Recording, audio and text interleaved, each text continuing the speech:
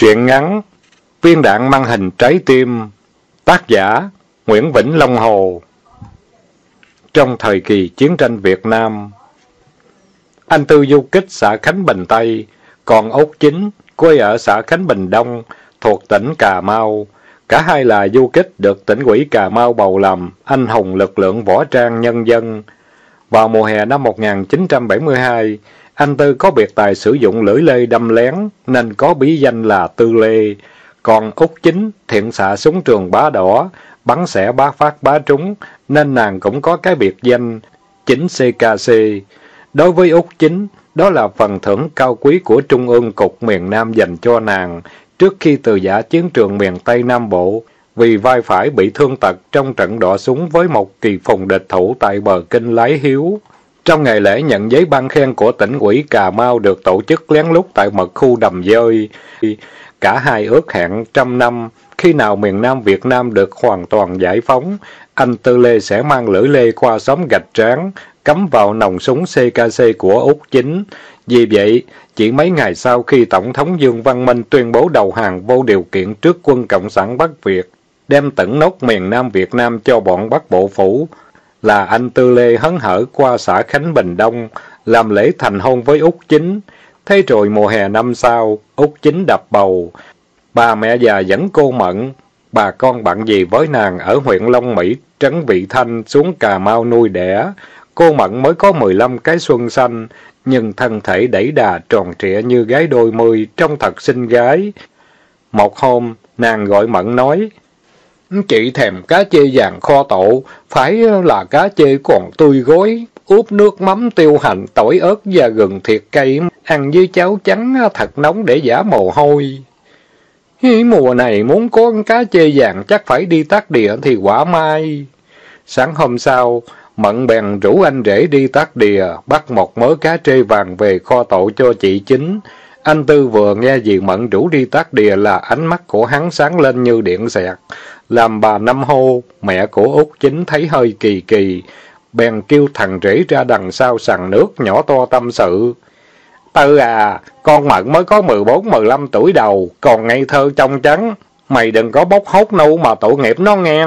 Hơn nữa, con mày á, là con gái đầu lòng, phải để đức cho con mày đó. Vì năm còn hâm he, ông già tía của nó cũng là cán bộ cách mạng gọc đang làm việc trên thành phố. Ê má à, đừng có lo chuyện bao đồng nữa mà, dầu gì Mận cũng là em vợ, ai mà nhẫn tâm phá hoại đời con gái của cô ta chứ.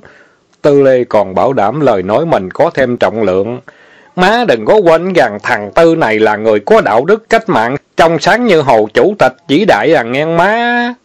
Bà Năm Hô cười mãn nguyện nói, má biết rồi, má chỉ dặn hờ con thôi Tư à.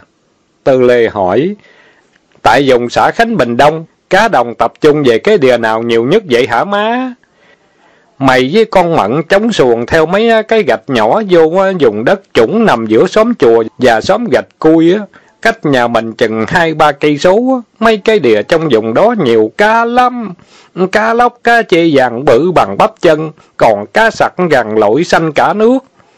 Ngày sáng hôm đó, kẻ sách thùng thiết người mang gào xuống xuồng ba lá bơi ra cái đìa giữa ruộng, đắp đất be bờ. Cả hai hì hục tác đìa cho đến khi nước cạn. Thỉnh thoảng anh Tư liếc mắt nhìn cô em vợ đang chỏng mông, mò cá dưới sình, bộ đồ bà ba ướt sũng nước bùn, bó sát thân mình, làm nổi bật mấy đường cong tuyệt mỹ. Tư Lê dán chặt cái đôi mắt vào bàn tiếp hậu của Mận mà lòng háo hức, thèm nhỏ rãi. Gần giữa xế trưa, cá lóc, cá trê, cá rô, cá sặc bắt đựng lưng thùng thiết. Mận thấm mệt dừng tay nói. Anh Tư ơi, thùng thiết gần đầy cá rồi. Thôi, nghỉ đi anh, lo tắm giặt rồi còn về nhà cho kịp. Em đi qua bờ ruộng bên kia tắm giặt trước à ngang. Tư Lê nói, À được rồi, vì nó tắm rửa trước đi rồi tới phiên tôi. Ai đời anh ghế tắm chung với em vợ. Người ta thấy kỳ lắm đó. Còn gì à, đạo đức cách mạng của thằng Tư Lê này à, chứ hả gì? Ừ, em đi tắm trước ngang. Nàng nhỏ nhẹ trả lời rồi đứng dậy đi qua bờ ruộng nước trong bên kia tắm. Nàng vô tình cởi áo giặt đưa cái lưng trần về phía anh rể, rồi đứng dậy leo lên bờ, máng cái áo phơi trên cành cây điên điển, đang mùa trổ hoa vàng rực rỡ, kẻ vô tình người hữu ý, Tư Lê vừa thấy mận nhá đôi gò bồng đảo khi xoay người lại, bước trở xuống ruộng. Tư Lê nhìn thấy chết đứng, kêu trời một tiếng, rồi ngồi phật xuống vũng bùng, lưỡi lê dựng ngược. Tấm giặt xong mận leo lên bờ mặc áo, ngồi dưới gốc cây điên điển chảy tóc, nàng gọi ông anh rể giật ngược. Anh rể ơi, mau tấm giặt điển còn đi gì à? Trời xế chiều rồi đó ngang. Tư Lê vừa đứng lên, bỗng ngã bổ nhào xuống đìa, dãy đành đạch như bị trúng kinh phong miệng la bài hải. Ê trời ơi, trời ơi, cứu tôi với dì Mẫn ơi! Mận nghe anh rể thét kêu cứu nàng hoảng kinh hồn vía, quăng lượt chạy bay đến phóng xuống đìa, dìu anh rể lên nằm dài trên bờ ruộng. Tư Lê lấy cái bàn tay che kín bộ phận dưới cây trúng, làm bộ khóc miếu máu. tôi bị con rắn trầm quạp cắn trúng ngay hạ bộ, nó sưng tù dù lên đây nè. Tư Lê mở hai bàn tay cho Mận thấy, rồi che lại liền, thiều thào trăng trối. Gì không nghe sao? Gắn hổ cắn còn lết về nhà, gắn chàm quạp cắn thì nằm ngay đâu tại chỗ. Tôi ờ, sắp chết tới nơi không thấy mặt vợ con. Đau đớn quá trời ơi! Nàng sợ quá nói. Bộ đau lắm hả anh Tư? Thôi em dìu anh về nhà ngang. Tư Lê mắt trợn ngược lên miệng sùi bọt mép nói. Trễ rồi gì nó ơi, dì làm ơn làm phước, thay tôi lo cho chị và cháu dùm ngang. Dì hứa một lời cho tôi an lòng trước khi nhắm mắt. Mận giọng run run hỏi, anh đừng làm em sợ, có cách gì cứu anh được không?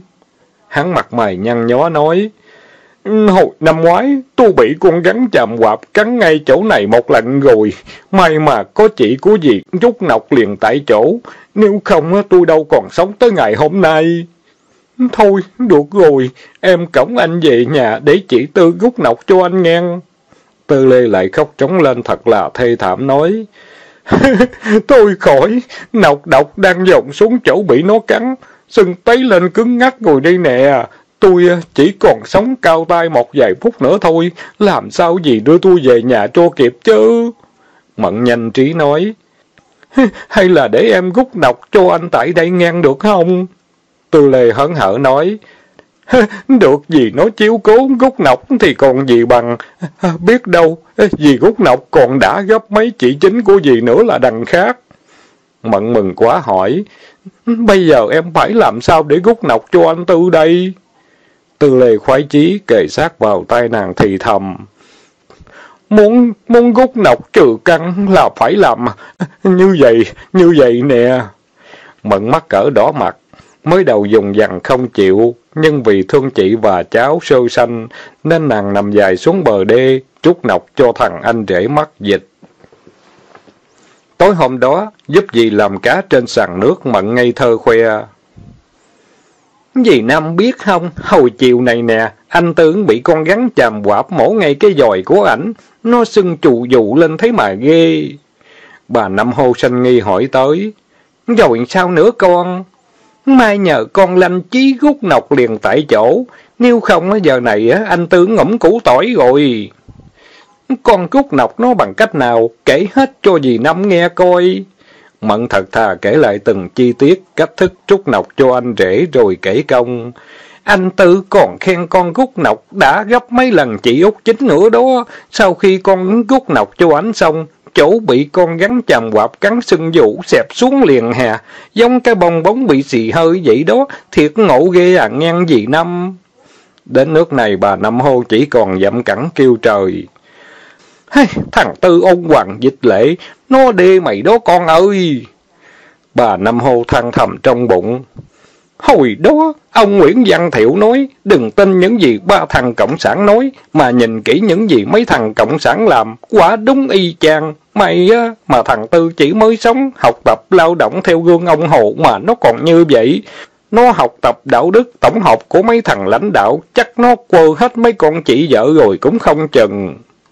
Vì Năm hô căng dặn. Chuyện này kể cho dì nghe được rồi, đừng nói cho con chính biết không có tốt đâu nghe con. Thôi, để tao làm món cá chê vàng kho tổ cho nó ăn mau lại sức, còn ra đồng làm lũng kiếm tiền nuôi con. Mẫn biết mình trúng kế tư lê trời đánh, trót dại trao cái ngàn vàng cho hắn rồi. mận xấu hổ với chị chính nên gật đầu ân thuận nín khe. Nhưng mấy ngày sau đó bị đổ bể, cả xóm trạch tráng đồng ầm lên. Là tư lê tò tí te với cô em vợ. Làm gì năm quản quá trách mận. Cái chuyện xấu hổ đó nói ra làm gì chứ? Cả xóm gạch gắn này ai cũng biết chuyện giữa con và thằng Tư hết trơn, vì không biết ăn nói làm sao với con chính đây. Con không dám hé màu với ai đâu, dì Năm à. Dì Năm thắc mắc nói, không có lửa làm sao có khói. Dì Năm đâu có biết rằng, xế trưa hôm đó thằng Tẩn, con của tám đía bơi xuồng qua ruộng đặt cần câu lương và rắn. Còn dư thì giờ nó đi câu rê nhấp cá lóc ở mấy cái đìa gần đó. Thằng Tẩn là thổ công ở vùng nê địa, ruộng đồng thiên nhiên hoang vắng này. Những cánh đồng bao la chỗ nào cũng toàn bưng tróc mênh mông, lục bình, năng lát, cỏ ống, phi lao sậy mọc ôm tùm là quê hương đủ loại chim cò, gà nước, vịt trời, trích, cúm núm. Còn dưới nước là cái rúng cá, vựa cá của vùng Khánh Bình Đông, đủ các loại cá đồng, lương rắn rùa, sống lưu linh nhiều năm. Thằng Tẩn chuyên nghề câu rắn lương, văn câu nhấp gá đặt lờ, tự nuôi bản thân và nuôi cha là tám đía. Nguyên là phế binh Việt Cộng, đã mất một cái chân tại chiến trường sình lầy Lung Ngọc Hoàng ở Phụng Hiệp, trong một trận đỏ sức nảy lửa giữa tiểu đoàn Tây Đô do tên thiếu tá Chim Thành Tấn chỉ huy và tiểu đoàn 1 trung đoàn 33 thuộc sư đoàn 21 bộ binh vào đầu mùa hè năm 72. Thằng Tấn lội bị bõm dưới ruộng, tay vạch cỏ lát từng khoảnh tròn rồi gác ngang cần câu qua. Dây câu phải cột ở giữa cần, chứ không cấm cần nghiêng nghiêng theo kinh nghiệm của thằng Tấn, là khi rắn hoặc lương cắn câu thì không thể lôi cần đi được, vì vướng các bụi cỏ lát. Gần xế chiều, thằng Tẩn bỏ xong gần một trăm năm chục cần câu lương và hai chục cần câu rắn. Nghề câu cũng lắm công phu, câu loại nào phải dùng mồi nấy, câu lương phải dùng mồi nhái cắt ra làm đôi hoặc làm ba tùy theo con nhái lớn hay nhỏ. Câu rắn cũng phải dùng mồi cá rô đồng còn sống, móc nguyên con. Thấy trời còn sớm nó leo lên xuồng đi câu rê, nhấp cá lóc, chờ chạng vạng. Tám đĩa bị bệnh chứng năng y là ngứa mồm, bất kỳ chuyện gì qua tay của hắn là cả làng trên xóm dưới đều biết hết. Vì thế chẳng những bà con xóm rạch tráng mà cả cái xã Khánh Bình Đông này, ai cũng biết cái chuyện tư lê dương lưỡi lê đâm ngược cô mận bò lê bò lết trên bờ đê. Thế mới khổ cho dì Năm, đâu dám cho út Chính đi ra khỏi nhà lúc còn đang nằm ổ, sợ máu sẵn hậu trào lên là chết không kịp trối, còn Mận nặng nặc đòi về lại Vị Thanh. Thời mai, tiếu má cô Mận từ trấn Vị Thanh xuống thăm dì Năm, sẵn dịp trước Mận về để phụ lo công việc đồng án. Sau khi Mận trở về trấn Vị Thanh, tám dậu ở bến gỗ, chị cố Út Chính, nghe thiên hạ đồn con Mận bị thằng anh rể là Tư Lê dụ khị phá đời con gái nên đùng đùng nổi giận, ra bờ sông tác thủ, đón võ lãi về trạch tráng để hỏi cho ra lẽ, Vừa thấy mặt nhau, tám dậu hỏi. Tao nghe có người thấy chồng mày đè với con mận trên bờ đê, cạnh đìa cá. Chuyện này có thiệt không? Nàng nghe hỏi chân hững nói. Tôi nằm ổ cả tháng nay, có ra khỏi nhà đâu mà biết. Chị hỏi má thử coi. Vì năm hô biết không thể nào cho chìm xuồng vụ này vì mọi người trong xã biết hết rồi. Giấu giếm quanh co vô ích. Vì năm đành nói sự thật lỗi này do thằng Tư bày mưu. Con mận vô can vì quá ngây thơ mà bị thằng Tư dập liễu vùi hoa làm tan nát đời con nhỏ. Nàng nghe má nói giận sôi cả ruột gan, tay chân rung bay bẩy, cứ thở hơi lên làm gì năm và tám dậu sợ bở vía, đè em mình nằm sắp trên bộ ván, vén áo lên cạo gió sồn sột. Một lát sau nàng tỉnh dậy khóc sức mướt, nói lầm bầm trong miệng. Tối nay, ổng sẽ biết tay tôi. Không biết Út chính tính cái gì đây? Tối hôm đó Tư Lê nhậu với bạn bè ở xóm trên say túy lúy, đến nửa khuya mới bò về nhà, vừa chung vô mùng đang ngủ chập chờn bỗng hắn nghe tiếng con vợ mài dao dưới bếp. Trời về đêm thanh vắng, tiếng lưỡi dao cọ sát trên cục đá mài, phát ra những tiếng kêu trẹt trẹt, rẽn rẽn làm hắn trùng mình. Nổi da gà, không biết con vợ dở trò gì đây, bèn lên tiếng hỏi. Em mà giao các cổ con gà trống thiến nấu cháo cho anh bồi dưỡng đó hả? Tiếng út chính từ dưới bếp vọng lên. Không phải cắt cổ gà đâu, mà chặt đầu, lột da con rắn chầm quạp, bầm nó nát như tương để nấu cháo cho ông ăn. có tật giật mình nghe vợ nói chặt đầu lột da con rắn chầm quạp thì sinh nghi. Hồi nào tới giờ có ai nghe nói nấu cháo rắn chàm quạp đâu. Anh Tư lặng lẽ chung ra khỏi mùng, xô nhẹ nhẹ cái cửa buồn ngủ trốn rén đi xuống cháy bếp nhìn qua kẻ vách. Thấy mặt con vợ đầm đầm sát khí, đang mài cây đầu long đao, là anh Tư hồng vía lên mây lật đật lên nhà trên co giò dông mất. Qua nửa đêm về sáng, hai tiếng con tắm đĩa đang ngủ say như chết, bỗng nghe tiếng ai đập cửa ầm ầm làm tắm đĩa giật mình thức dậy cầm ràm. Mẹ bà nó, ai mà đến đập cửa nhà mình sống quá vậy cả. Tám đĩa gọi con, Tẩn ra mở cửa, coi ai tới kiếm sống quá vậy cả. Thằng Tẩn bị tía đánh thức quẩy quẩy ngồi dậy ngáp vài cái mới chịu đi mở cửa. Thấy mặt Tư Lê đang đứng lù lù trước cửa nói gọi, Tía ơi, có chú Tư tới kiếm nè.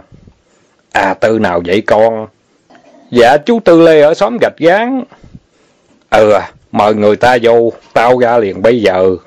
Vừa thấy bản mặt Tư Lê là tám đĩa cào nhào hỏi. Nửa đêm nửa hôm chạy đến nhà tao, đập cửa ầm ầm, đánh thức tao dậy làm chi vậy cha nội? Tư Lê mặt xanh như lá chuối non, hơi thở dồn dập, tóc tay bù xù, áo thì đứt khuy, quần thì quên cài nút, bộ tịch như bị ma đuổi, hắn nhìn tám đĩa cầu cứu. Anh Tám à, làm ơn cho em ngủ nhận đêm, sáng mai em đi liền. Tám đĩa trố mắt ngạc nhiên hỏi, Ủa, nhà của chú, chú mày không ngủ, lại đòi ngủ nhờ nhà tao vậy cả. Anh Tám làm ơn cho em vô nhà cái đã, rồi nói chuyện sau. Hắn vừa nói vừa lấm lét nhìn ra bờ sông. Thôi, được rồi, vô nhà đi tư. Hắn vội vã bước vô trong nhà, ngoái cổ lại dặn thằng Tẩn. Nhớ đóng cửa gài chốt cẩn thận ngang, bả mà chạy tới là tao chết. À bà nào vậy? Thằng Tẩn cười hỏi. Câu em vợ nhí hay à, thím tư vậy hả? Ê, bà xã tao đó, chứ ai dám ruột tao, chạy dắt dò lên cổ chứ. Coi vậy chú Tư cũng ngắn thêm từ quá hả?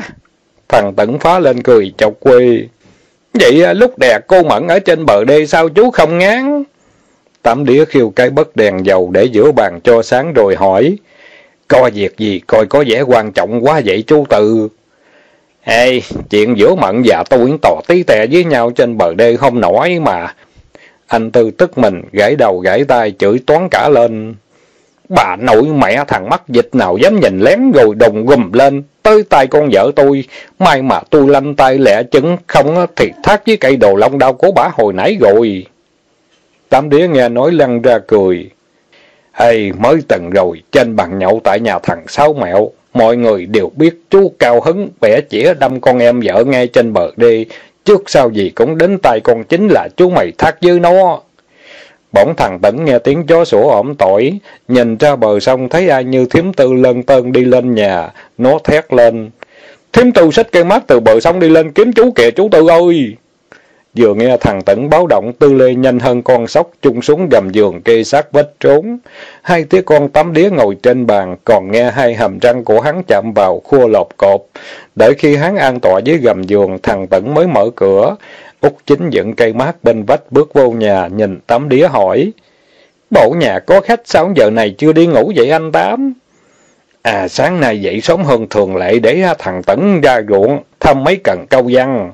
chiều hôm qua nó đặt gần 300 cần câu lận, mùa này câu lượng câu gắn trúng lắm, thấy à, bắt mà ham. Tám đĩa nhìn nàng làm bộ hỏi, còn thím đi kiếm ai mà sống quá vậy? Nàng hậm hực nói, tôi đi kiếm thằng chả.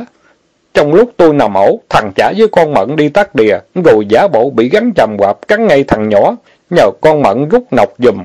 Con mận ngây thơ nó có biết ớt giáp gì đâu, bị thằng chả gạt làm tiêu mẹ đời con gái thiệt tức chết được. Nếu gặp chú Tư, thiếp làm gì đây? Chẳng lẽ chém nó làm ba khúc? Úc Chính nói gọn lõn. Thiên! Tám đĩa bào chữa. Hey, chuyện lỡ rồi, tha chú một lần đi. Chẳng lẽ chồng mới ăn dụng một lần rồi thiết nó như tiếng heo coi sâu đặng. Người ta cười cho thối đầu. Úc Chính giọng kiên quyết nói. Len phen với ai cũng được, tôi tha. Nhưng với con mận là không được, phải hành xử theo lực giang hồ. Nàng nhìn đồng hồ trên vách gần bốn giờ sáng lật đật cáo từ. Tám đĩa cố giữ lại nói. Khoan đã, uống nước trà cho ấm bụng rồi hãy đi. Cảm ơn anh Tám, tôi phải về nhà liền, kịp cho con bú. Trong nhà còn lại hai người, thằng Tẩn đã chui vào mùng ngủ tiếp, tám đĩa thở dài nói, Ê, mày không biết tánh ý còn chính bằng tao đâu, nó dám nói dám làm. Thằng Tư đừng à dễ người với nó, chú mày chỉ hai con đường để lựa chọn. Nếu bám trụ ở xã Khánh Bình Đông này, trước sau gì cũng trở thành thái giám hoặc là bỏ xứ đi nơi khác, hạ hội phân giải. Tư Lê hỏi, sao anh Tám biết rành đột về nó quá vậy?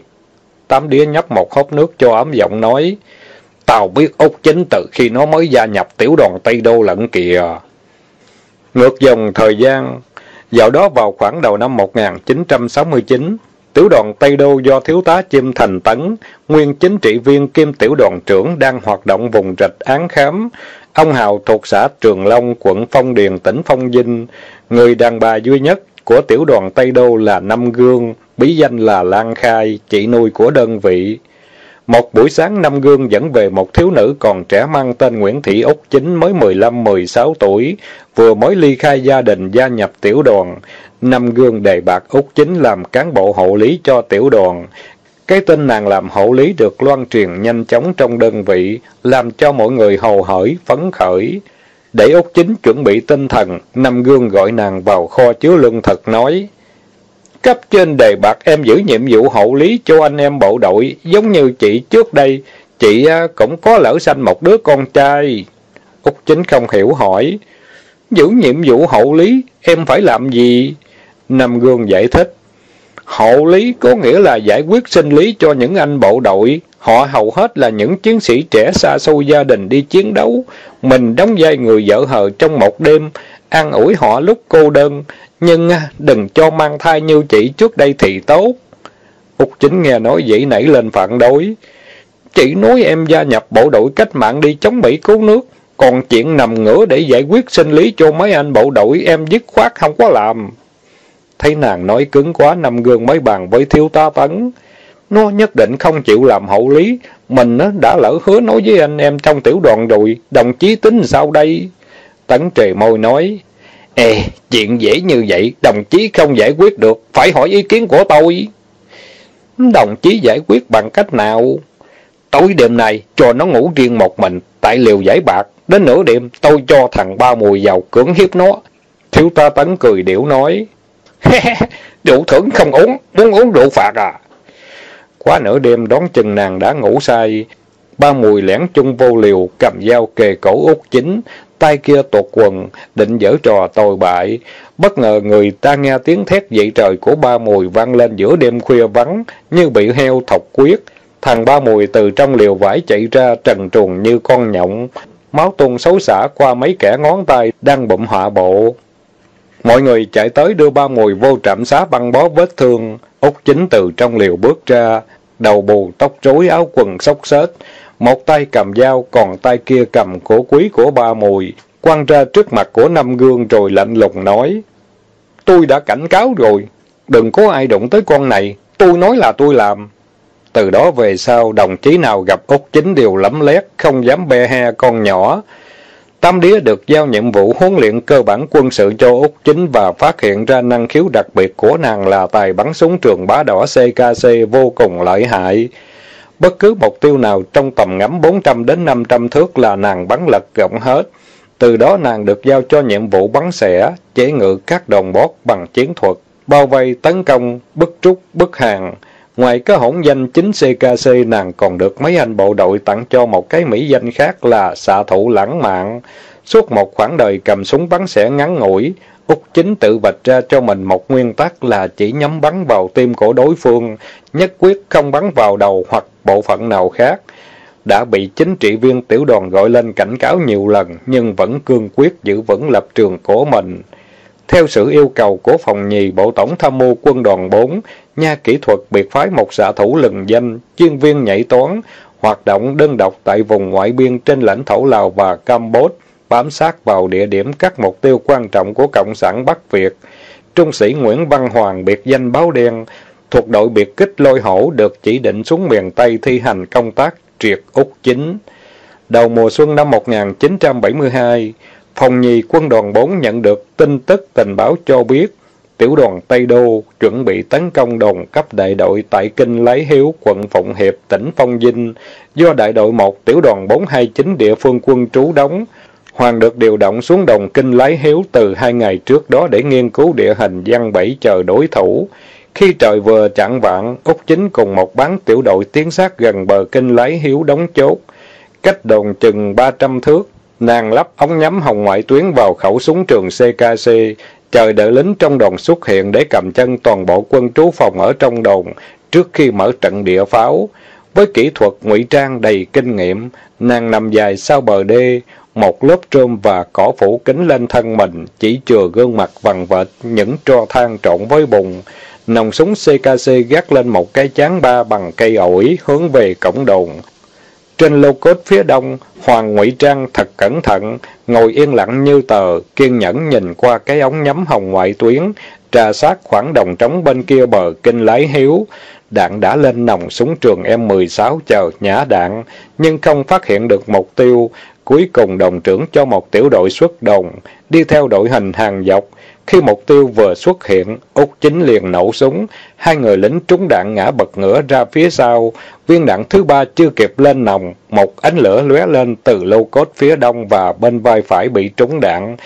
Nàng ngã lật ngang bất tỉnh, quân trú phòng đồng loạt bung ra khỏi đồn vượt qua cầu ván, bắt qua kinh lấy hiếu, bứng chốt địch. Thấy vậy cả bọn tóc chốt bỏ chạy, hoàng chờ mình qua lô cốt nhả sáu phát đạn, sáu thi người lần lượt ngã xuống. Khi Úc chính tỉnh dậy mới biết mình nằm tại bệnh xá giả chiến trong đồn. Cảm giác đầu tiên là vai phải đau buốt và được băng bó cẩn thận. Trong bệnh xá yên lặng như tờ, chỉ nghe tiếng côn trùng trên rỉ ngoài liều vải bạc. Ý nghĩ đầu tiên là tìm cách đào thoát về mật khu. Nàng gượng ngồi dậy thì một người lính mang một ly nước trà nóng và vài viên thuốc vào bảo uống. Nàng hỏi, thuốc gì đây? À trụ sinh. Anh ta cười nói, Trung sĩ Hoàng đã mổ, gấp viên đạn ra khỏi vai cô rồi. Nó chỉ xuyên qua thớ thịt chạm vào xương bả vai. Thuốc trụ sinh để vết thương khỏi ung mổ làm độc. Cô an tâm nằm dưỡng thương, không ai hại gì cô đâu. Một lát sau Hoàng bước vào, nhìn ánh mắt cương nghị của hạng người, kiên quyết hành động và nhất là cái vết thẹo cháy xém, nằm vắt ngang gò má bên phải làm gương mặt anh trông rất ngầu, khiến nàng hơi sợ, nhưng nụ cười hiền hậu tương phản với ánh mắt, Việc đầu tiên là anh lấy khăn tay lau sạch mấy vết thăng bùng ngụy trang trên gương mặt của Úc Chính. Anh bật cười giòn nói, ha, nhìn gương mặt thư sinh của cô, không ai biết cô là xạ thủ cừ khôi. Tôi muốn hỏi cô một câu, được không? Thẩm vấn tôi liền bây giờ sao? Hoàng lắc đầu nói, tôi và cô đều là những cao thủ, chuyên viên bắn xẻ. Tôi kết thúc cuộc đời của họ bằng một viên đạn vào đầu, một viên đạn một kẻ thù. Tại sao cô chỉ bắn vào tim của đối phương? Có phải vì thù ghét bọn đàn ông? Ông lầm rồi. Tôi không bắn vào đầu vì muốn gương mặt của họ còn nguyên vẹn, để cho vợ con còn giữ mãi một hình ảnh đẹp về chồng. Cha lần cuối cùng trước khi liệm, chỉ có vậy thôi. Hoàng cười nói, ha, cô quả là một xã thụ lãng mạn, vì vậy đây là lần đầu tiên tôi phá lệ chỉ bắn vào vai, vết thương này chỉ đủ cho cô từ giả vũ khí vĩnh viễn. Cảm ơn ông, xin gửi lời chia buồn với hai gia đình nạn nhân cuối cùng của tôi. Ê, họ có chết đâu. Mỗi người đều mang một miếng thép để bảo vệ lòng ngực. Đâu vậy đủ chống sức công phá của đầu đạn CKC. Chỉ có cách này tôi mới phát giác được vị trí của cô. Như vậy là tôi thua trí của ông rồi. Anh móc một đầu viên đạn M16 từ trong túi đưa cho Út Chính nói. Cô giữ đầu đạn này làm kỷ niệm, tôi sẽ tiêm cho cô một mũi chống đau nhất trong vòng 24 tiếng. Loại thuốc trang bị đặc biệt cho độ biệt kích lôi hổ, hoạt động trong lòng địch. Để làm gì? Hoàng không trả lời bẻ ống thuốc lấy ống chích, trút đúng phân lượng tiêm vào cánh tay nàng. Úc chính cảm thấy hơi nhói một tí rồi ngủ thiếp đi. Nửa đêm về sáng, một bộ phận của tiểu đoàn Tây Đô lọt vào ổ phục kích của quân trú phòng, súng nổ vang rền một góc trời. Những trái hỏa châu nối tiếp nổ bùng lên không, treo bay lơ lửng trên nền trời, tỏa sáng trên cánh đồng mênh mông. Hoàng mang đồ nghề đầy đủ, đánh thức Úc chính dậy, dẫn nàng rời khỏi đồn. Cả hai lội băng đồng về hướng con kinh bà bái. Khi phát hiện một ánh đèn dầu leo lét của nhà ai đó xa xa trên bờ kinh, Hoàng dừng chân lại nói, Chúng ta từ giả nhau tại đây. Úc Chính ngạc nhiên hỏi, Ông trả tự do lại cho tôi. Hoàng gật đầu nói, Quân lực Việt Nam Cộng Hòa không có lại giết tù binh, hơn nữa cô đã bị loại ra khỏi dòng chiến kể từ hôm nay. Thôi, cô đi đi. Úc Chính cảm động nói, hy vọng sau chiến tranh tôi sẽ gặp lại anh. Nghe tám đĩa thuật lại khoảng đời hoạt động của nàng trong tiểu đoàn Tây Đô, Tư Lê hối hận nói, Ê, tôi có vẻ tánh con vợ tôi kiên cường như vậy, chắc cái mẫn này là tôi phải bỏ xứ. Phải chỉ lúc đó tôi đừng có bốc hút nụ con mận thì đâu có xảy ra chuyện. Ngặt gì con nhỏ hấp dẫn qua trời làm tôi cầm lòng không đậu. Bây giờ hối hận mọi việc đã muộn màng rồi. Ê, tạm thời chú lánh mặt một nơi khác, để tao lựa lời khuyên nó xem sao. Tôi muốn hỏi anh, hồi nào tới giờ, không nghe ai nhắc tới à, chị Tám, hay à, anh cũng đồng cánh ngộ như tôi bây giờ? Tám đĩa nghe hỏi nực cười trả lời.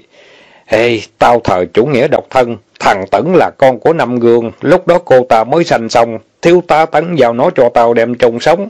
Vì nữ hậu lý không có quyền nuôi con, tao lén gửi cho một chị du kích hoạt động gần đó, nhờ bồng bế về thị xã Cà Mau, giao cho chị hai của tao nuôi dùm. Tư Lê nói đùa, hey, không chừng thằng Tấn là con đẻ của anh đó cha nội. Tám đĩa nói, ừ hen, đôi lúc nó tẩn tẩn giống hệt tao hồi còn trẻ. Trời hừng đông sáng, Tư Lê chào từ giả tám đĩa lên đường ra thành phố, từ đó biệt tích giang hồ luôn. Thằng Tẩn cũng dậy sớm đi ra đồng lo bắt lương trắng, văn câu mưu sinh. Nhìn tướng đi của nó, tám đĩa bân khuân tự hỏi. Ê, biết đâu thằng tấn là con của mình với năm gương cũng không chừng. Sở dĩ tám đĩa thắc mắc điều này cũng có lý do thầm kính riêng. Xin các bạn tiếp tục theo tập thứ hai.